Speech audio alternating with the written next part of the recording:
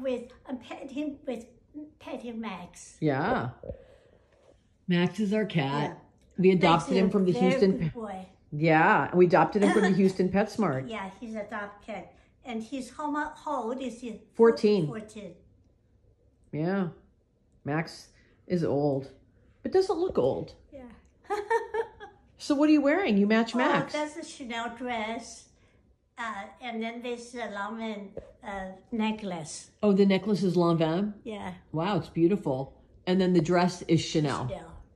I like the Chanel. It's very nice. It's beautiful. Yeah. Wow, fits you like a glove. Very nice. Yeah. Cool. So um, let's take a look at kind of what's around you. So you have your frog princes, Yeah. your book collection, and And the painting is uh, a few hundred years old. yeah, that you got from your mother. Yeah.